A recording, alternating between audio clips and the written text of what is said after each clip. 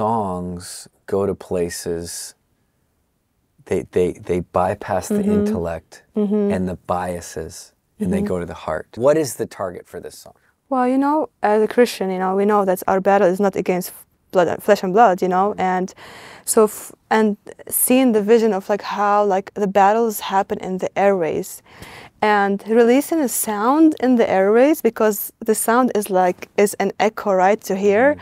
and I, I believe that God is gonna shift something in that region through our mm-hmm. voice because it's going to be going from you know Yeah. it's going to be releasing the sound and then from radio stations from there you know from israel that it's already we prepared for that right now. They're going to be an a shaking to remove a veil Yeah. from their eyes that's been for years of hate you know just looking at him we still we were talking like we cannot believe we're just still sitting here together you know because it's it's it's crazy I, I wish that uh, this will be just the first step of more people that will join to this to this movement. I, I can call that Israelis and, and Arab can actually do things together, and not only because it's the the right politics move, because this is what God said.